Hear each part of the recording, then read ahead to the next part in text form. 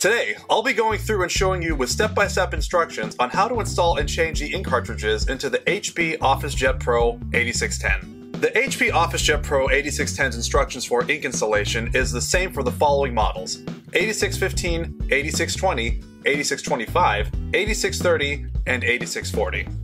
Let's get started. First, you're going to open the printer to access the space where you'll load the ink cartridges in and out.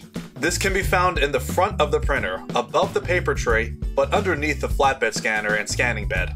If you are installing the ink cartridges on a brand new printer, be sure to remove the placeholder plastic tabs before you try to install the ink cartridges. If you are replacing empty ink cartridges, be sure to remove the old cartridges before starting.